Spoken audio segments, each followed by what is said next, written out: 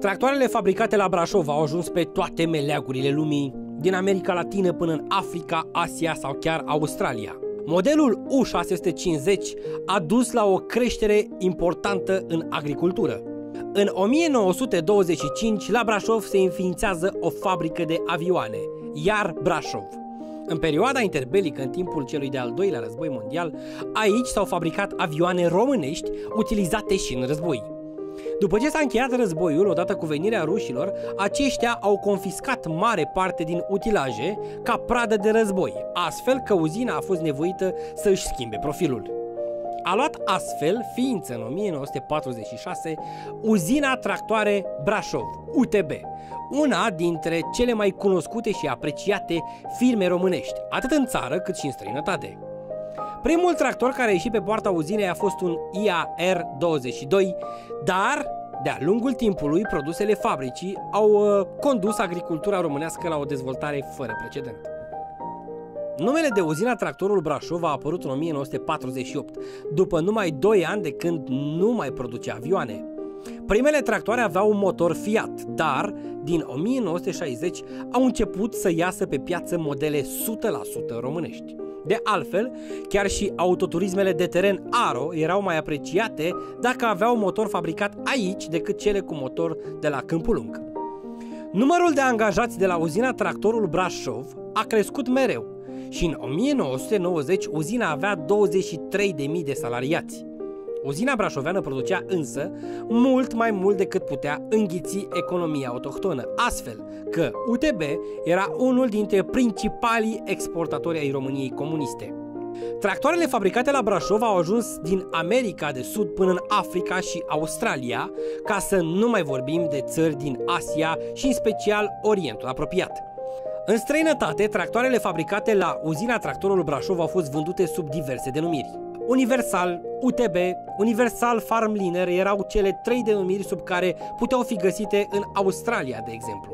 Toate tractoarele brașovene se găseau pe alte meleaguri sub numele de Titan.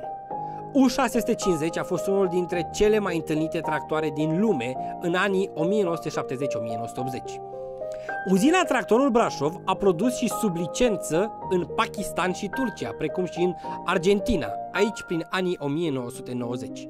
Cel mai cunoscut tractor care a ieșit pe porțile uzinei a fost Universal 650, U650. Modelul a ajuns în aproape toate localitățile din țară, astfel că nu există român care să nu-l fi cunoscut. Din 1984 până în 1991 s-a construit și U1010, un model mai performant care însă nu a ajuns să fie la fel de celebru. Declinul societății a început încă din 1990, însă în primii ani a fost lent. Mafia de partid și de stat, instaurată în decembrie 1989 după lovitura de stat, a avut grijă să distrugă unul dintre cele mai importante branduri ale industriei românești. În 1999, firma s-a divizat în șase societăți comerciale care au fost scoase la vânzare. A început o perioadă de mai mulți ani cu greve și proteste ale muncitorilor, însă nimic. Nu a mai putut opri nimeni și nimic drumul uzinei spre dispariție. Uzina intrând în lichidare în 2007. În loc de tractoare au construit un mall și un cartier rezidențial. Astăzi, pe locul în care a funcționat uzina se află cel mai mare cartier nou din Europa de Est, alături de un mall întins pe o suprafață uriașă.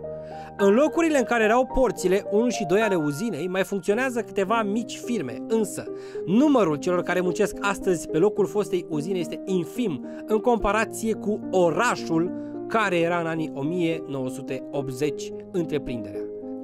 Așa s-a șters cu buretele istoria de aproape 100 de ani a fabricii de tractoare de la Brașov. Iliescu, Constantinescu și Băsescu au contribuit din plin pentru îndeplinirea acestui obiectiv ce se poate încadra la unul dintre cele mai mari asasinate economice din istoria neagră a postdecembrismului.